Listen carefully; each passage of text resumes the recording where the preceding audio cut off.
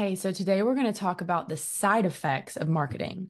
So, we're going to talk about the good side effects and the challenging side effects because there are both. Let's jump into it. And also, before I get through, I'm actually going to go over like, what is that? I have like 10 or 12 things here on my list of things you should consider. But before I do, I want to invite you to the Find Your Leads Challenge. If you have not attended the Find Your Leads Challenge, it's a great place for you to learn how you can become findable, how your leads can find you, and actually where should you go to make sure that they can find you. So it's an incredible live four day challenge, and you can click the link below wherever you're listening to this or watching this to join the Find Your Leads Challenge. But I also want to share something with you. If you are earning six, seven, or eight figures in your business and you have a very you know established business and you're getting sales and you're getting leads and you just want to take it from where you are to really level it up there is a new offer that I have, and it's called the Marketing Matters Mastermind. It's invite only, application only. But if you're the type of person where you're already gaining momentum, you just really want to 10x it, and you are receptive to feedback, you are Uh, you love collaborating with other people and getting new ideas that really energizes you, like being in a room talking business just gets you fired up, then I would love for you to send me a message on Instagram and we can have a conversation and see if you're a good fit for the mastermind and I can send you an application. So we have some really incredible women inside this this mastermind. So okay, let's jump into the side effects of marketing. Okay. So I wrote down the the the good things and the challenging things that can come with it and I've got a list here. So I'm just going to walk you through each of these so you can think about it. So when I say marketing, uh, the definition of marketing or, or is to promote a product or service. So would you agree that marketing is a non-negotiable in your business? Like you you can't not promote your product or service, right? So marketing is the act of promoting your product and service. Now, in the most recent episode, I talked about the four things, the four reasons that your marketing isn't working for you. So it's one of those four reasons that I talked about in the previous episode on why your marketing isn't working. But here's one of the side effects when it does. Um, and it's that people come to you constantly. Like you, you, you may get to a place where you're like, oh my gosh, there's so many people. I, I can't maintain these conversations. One of my clients owns a garage flooring company, and they were like, okay, we have to turn down the spend. Like we are getting too many leads. We, we only have so many employees. Like our capacity is limited, literally. So one of the side effects is that like people actually find you all the time, so much so that you have to actually like stop spending or work to hire a team. I had someone we were actually talking about the mastermind uh, recently, and she said like I'm just worried about my capacity. Like what if this works so well? And if you're the type of person where you're like, hey, your belief is so so strong in yourself and in your product or service that you're like, hey, there's a chance I have to like change my approach. What a great problem to have. We'll work through that together. That's actually why the mastermind was created. So I want you to know that first of all, you should be really proud of yourself that you're that confident that just getting more people to find you would lead to this, you know, huge uptick in volume and and to be honest, it absolutely can.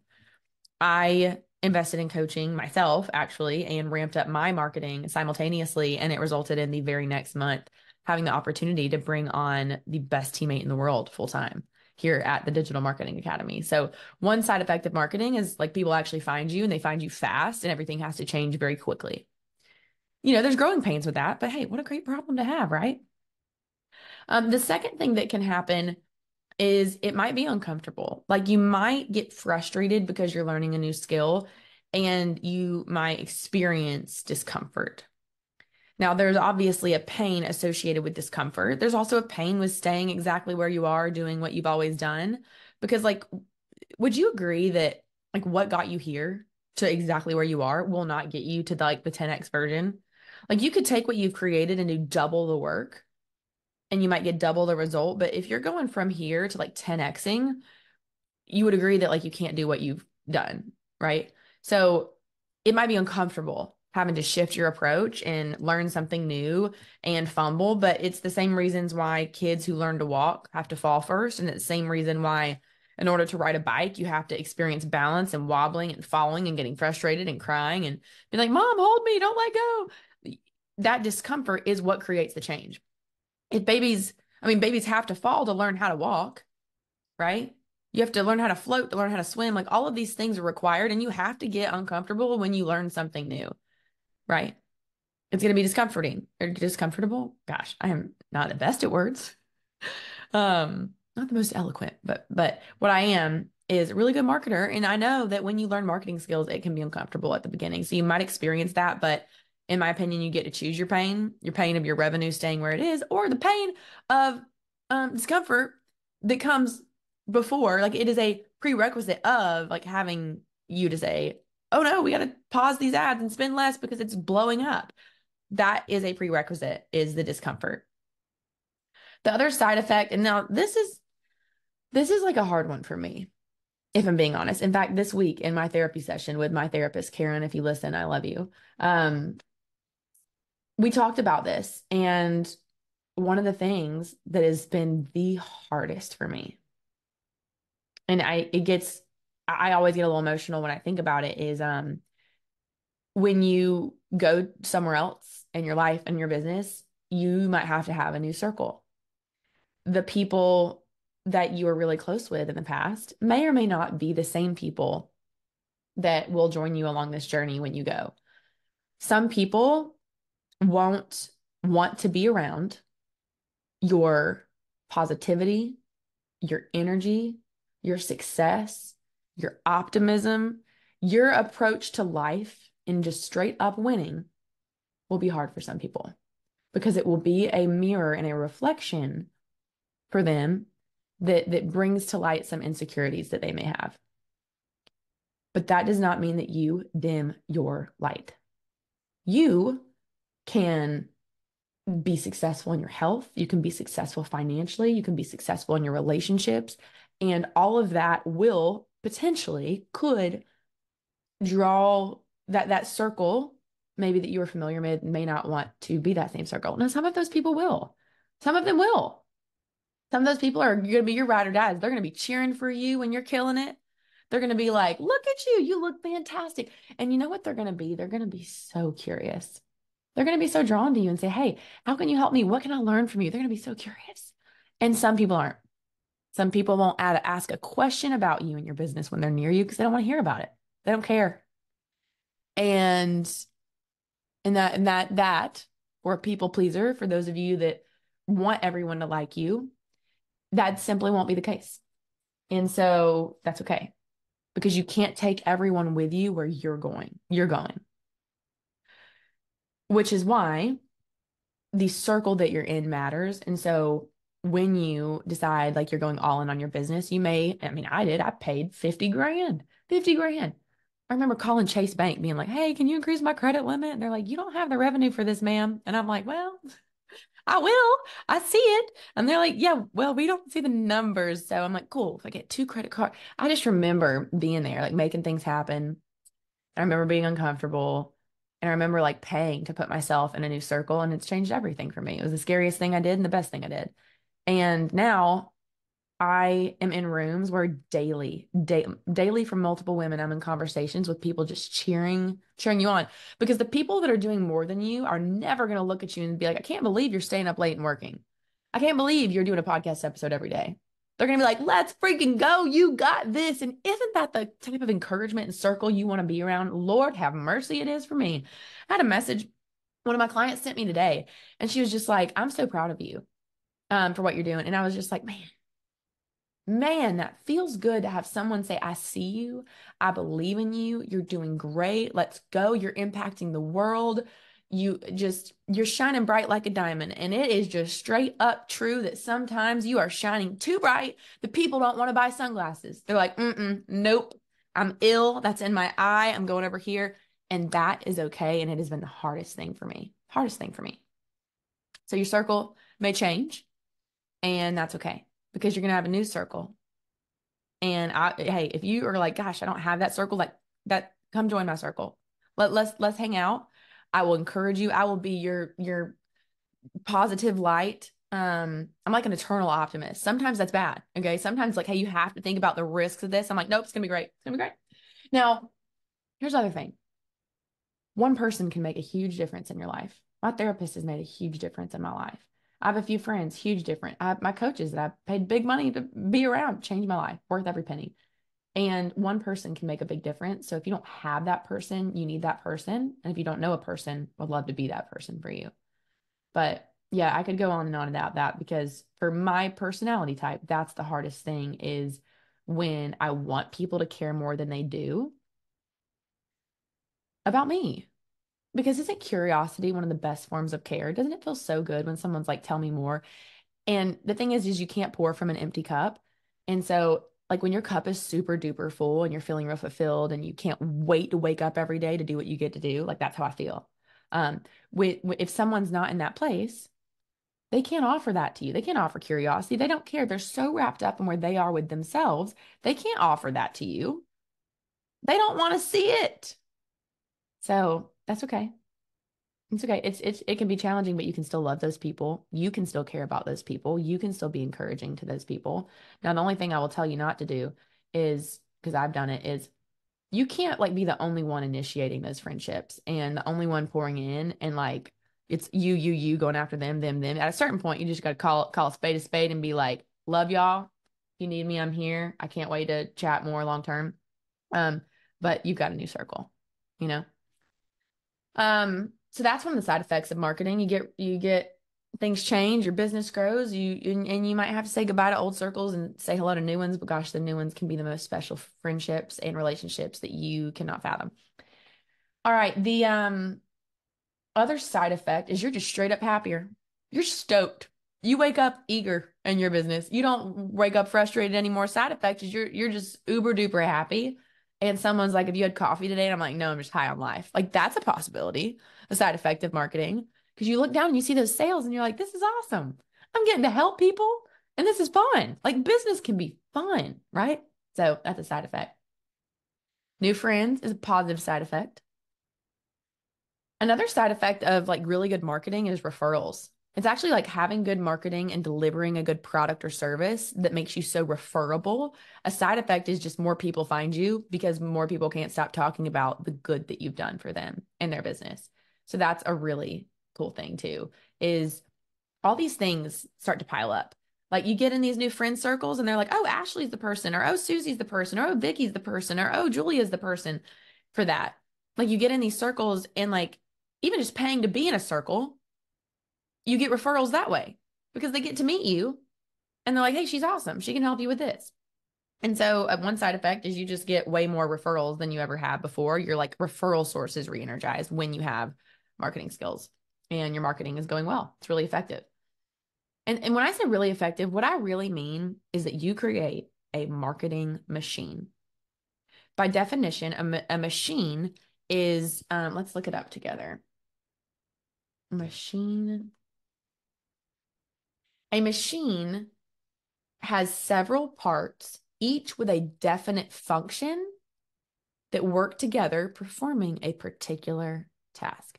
That is a machine. A marketing machine would be marketing is the is the act of promoting a product or service. So marketing machine would be a product or service, like having that and having a machine and applying power where several parts are working together with a definite function to perform a particular task.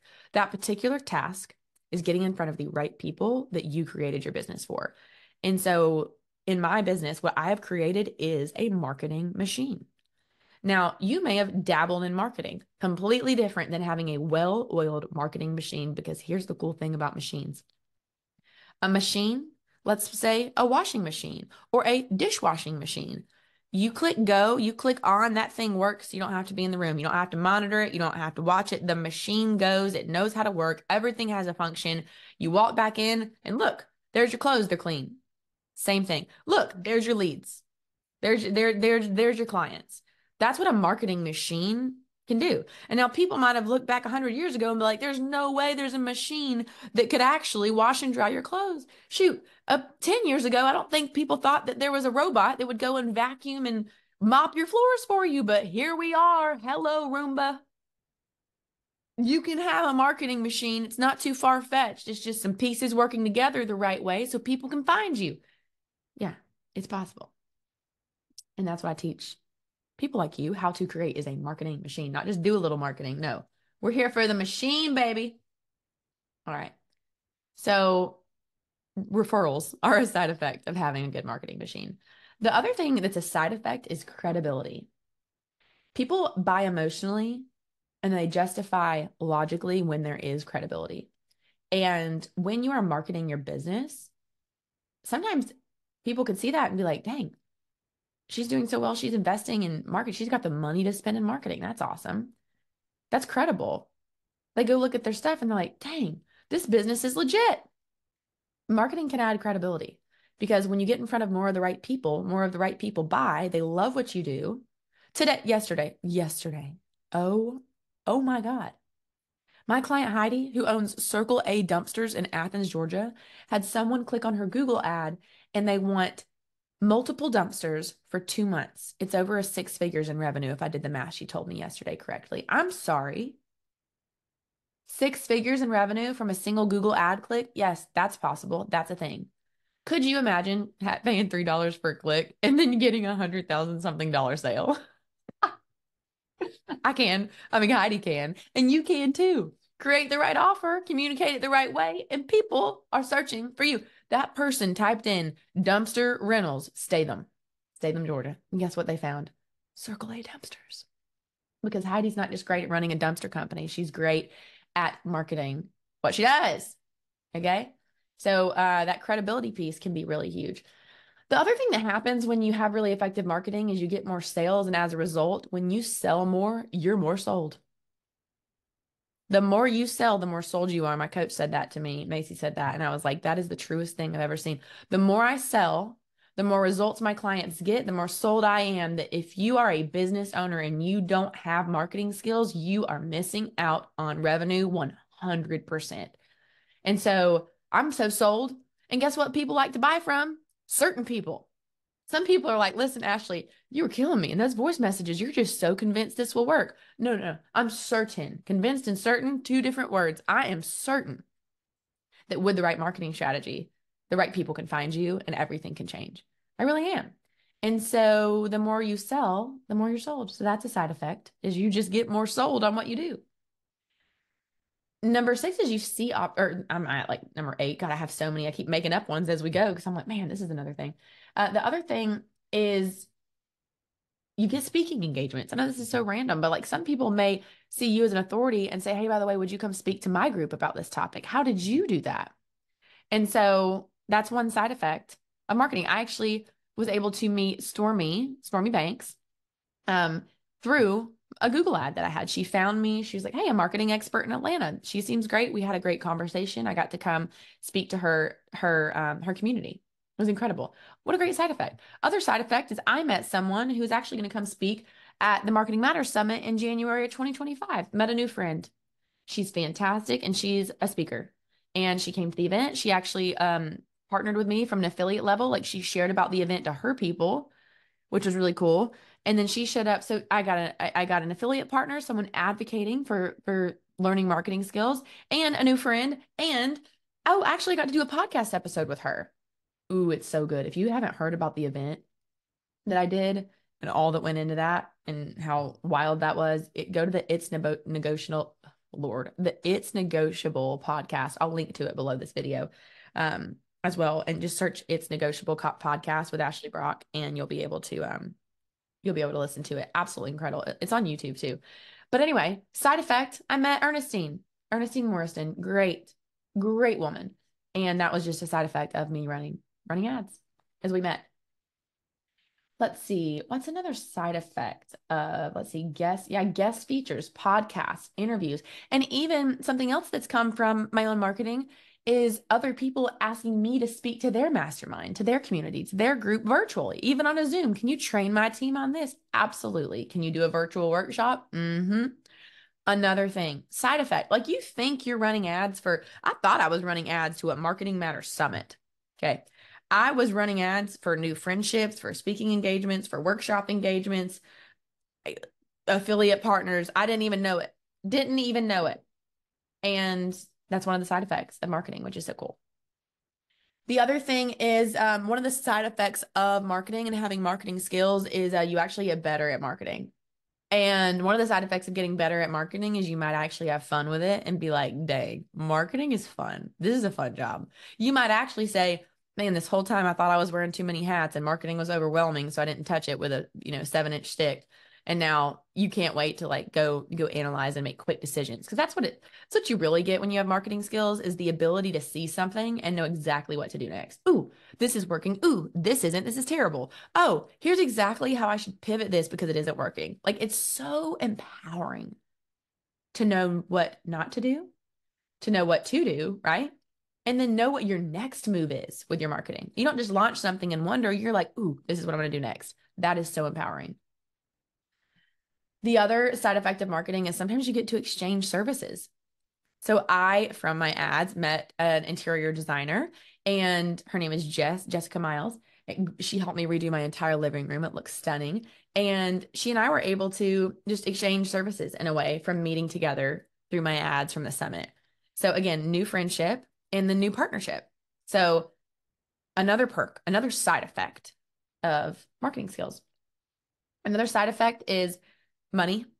So I really believe that it's really important for women to be wealthy. There's this um, CEO and founder, and she says nothing bad happens when women build wealth, and I really believe that. And one of the things that I love about um, building wealth is there is um, my coach like kind of told this story, and basically what she was saying is, you know, your kids need you less as you get older, or do they? If mom has a track record that she's wise, not just because of what she thinks, but because of what she's done, when my sons are going to start their own business, or my sons are going into a job interview, or when my sons are pivoting, or when my sons are taking a risk, they're going to be able to look back and say, you know what, who I need to call mom. Mom will give me the pep, pep talk I need. She will encourage me and she will speak not from hypotheticals, she will actually speak from experience because she's done this and I trust her and she's done scary things and I trust my mom and she's wise. So I'm gonna, I'm going to call mom when I'm 20, 30, 40, 50. That's what I want. Now, if you have kids, that may be something you desire too is is for your kids to actually need you even more when you're an adult and I, that's something or when they're an adult and that's something I so look forward to. And so me doing, like walking the walk and talking the talk together and having results to show for it will give me new opportunities and ways that I can support my kids and encourage my kids as they get older. So I think that's really cool. The other thing is like your brain changes. So I actually looked this up. When you learn a new skill, uh, your your brain chemistry changes. It says the white matter in your brain is called myelin and it helps improve performance on a number of tasks the more people practice a new skill they are learning, the more dense the myelin in their brain becomes, which helps them learn even better. Um, and it actually goes into talking about like the benefits of your brain changing and happiness, less depression, less anxiety, mood changes from learning a new skill because it's exciting. It's exciting. Think about when you first learned how to swim. You're like, this is fun. I want to go to pools. Same thing with marketing. It can be really fun as you begin to learn a new skill. So that's a side effect as your brain changes. Pretty cool, right? We already talked about growing too fast. So yeah, I mean, those are just the first things I've, I've thought about as what are the side effects of marketing. Some are there's discomfort. Some are it requires change. And I believe that discomfort is the very reason you should do the thing that you're considering doing or learning marketing skills because you can't change if you're not challenged. So learning marketing skills might feel like a challenge, but it could also be really fun and it's easier than you think. So, if you're interested in learning marketing skills so that you can become findable and you don't have to chase people down and you don't have to have anxiety every day about what are you going to post so people see you, then I would love to invite you to the Your Leads Challenge. So you can click the link below this podcast or video and go to ashleybrock.com slash find your leads and register for the next one. Or if you're a six, seven, or eight figure business owner, you're already getting great revenue and you really want to scale and be a part of a mastermind, I'd love for you to, to apply to the Marketing Matters mastermind, which you can also do below this video, or just send me a, a message on Instagram and we can chat and see if it's a good fit. All right, go market your business. I believe in you. We will chat soon.